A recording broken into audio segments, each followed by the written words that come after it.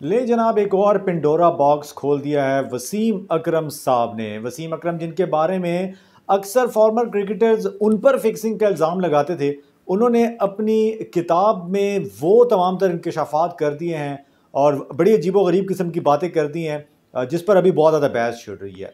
क्या बातें की हैं और इस पर क्या आगे होने जा रहा है इसमें मैं आपको इस वीडियो में डिटेल्स बताने जा रहा हूँ। मेरे चैनल को आप सब्सक्राइब करें और बेल आइकॉन को ज़रूर प्रेस करें। स्विंग के सुल्तान वसीम अकरम साहब ने अपनी किताब की रूनुमाई जो है वो गुजशत दिनों ऑस्ट्रेलिया में की, जहाँ पर बड़ी अजीब गरीब किस्म की बातें जो है वो सामने आई। हालाँकि वसीम अकरम साहब जो है मुख्तलिफ़ मीडिया चैनल्स पर जब भी जाते हैं तो वो कभी भी किसी फॉर्मर प्लेयर के बारे में कभी भी उन्होंने कोई भी ज़ुबान नहीं खोली। हालाँकि उन पर बहुत ज़्यादा फिक्सिंग के हवाले से और दीगर इल्ज़ाम लगते आए। कभी कभार अपने ऊपर लगे इल्ज़ाम पर वो रिस्पॉन्ड तो करते थे बट ख़ुद से कभी किसी के बारे में उन्होंने बात नहीं की। बट अब अचानक से इस ढलती उम्र में उनको क्या हो गया जनाब कि पहले ऑस्ट्रेलिया में उस इंटरव्यू के अंदर उन्होंने ये बात की थी कि जी, मुझे बाकी तमाम दुनिया के अंदर जो है काफ़ी प्रेस किया जाता है, मुझे लेजेंड समझा जाता है, लेकिन पाकिस्तान के अंदर लोग जो है मुझे फिक्सर के नाम से बुलाते हैं और उनको ये भी नहीं पता कि फ़िक्सिंग होती क्या है। और अब जनाब अली, जब उनकी बुक लॉन्च हुई है तो उसमें जो इल्ज़ाम सामने हैं, वो बड़े हैरान कन है? हालाँकि उन्होंने कुछ ऐसे लोगों पर भी इल्ज़ाम लगाए हैं, जिनके साथ उनकी बॉन्डिंग बहुत ही अच्छी है। सबसे पहले जो सबसे बड़ा इल्ज़ाम लगा है, वो सलीम मलिक साहब के बारे में, जिन पे ऑब्वियसली हयात पाबंदी भी क्रिकेट पे लगी। फिक्सिंग का एक बहुत बड़ा स्कैंडल था। जस्टिस क्यूम की रिपोर्ट आप सब लोगों को याद होगी, इस पर मैं बात नहीं करता। लेकिन उसने तमाम तर जो है वो चीज़ें खोली थी मलिक साहब पर ताहयात, पाबंदी लगी। लेकिन वसीम अकरम ने अपनी इस किताब में सलीम मलिक के बारे में बात करते हुए बताया कि सलीम मलिक एक बहुत ही सेल्फिश एक बहुत ही एरोगेंट और एक ऐसे शख्सियत के मालिक थे कि जिन्होंने उनके साथ बड़ी ज़्यादती की।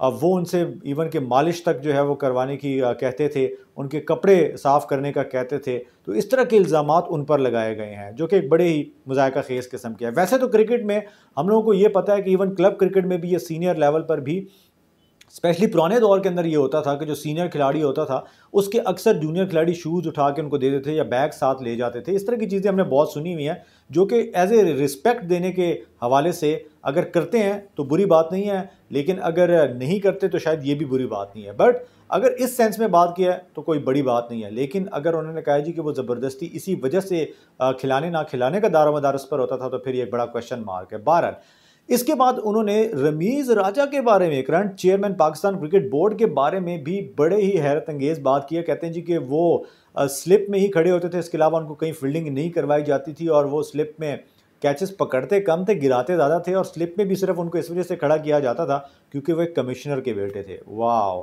और इसके बाद भी जनाब अभी करंट क्रिकेटर्स के बारे में भी वसीम अकरम साहब ने बड़ी हैरत अंगेज़ बातें की हैं, जैसे बाबर आज़म, इमाम उलक और कुछ और क्रिकेटर्स हैं, जिसके बारे में उन्होंने ये कहा है कि बहुत सारे करंट लॉट के अंदर ऐसे क्रिकेटर्स मौजूद हैं, जो अपने रिश्तेदारियों की वजह से टीम में उन्होंने यानी करियर का आगाज़ किया। अभी तो ऑब्वियसली बड़े अच्छे क्रिकेटर्स बन चुके हैं, कोई नंबर वन है, कोई नंबर टू है बट ये टीम में इस वजह से आए थे क्योंकि इनका कोई ना कोई क्रिकेटर जो है, वो यहाँ पर उसकी सिफारिश इनके साथ थी।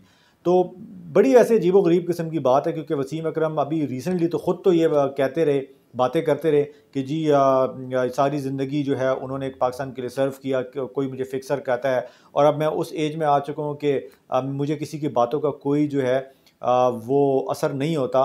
तो हैरत अंगेज़ बात है कि अगर आपने बुक लिखनी थी उसमें अपनी लाइफ की पॉजिटिव चीज़ें ज़्यादा बतानी बतानी चाहिए थी रैदर देन दैट कि आप इतनी ज़्यादा कंट्रोवर्शियल चीज़ें बताते।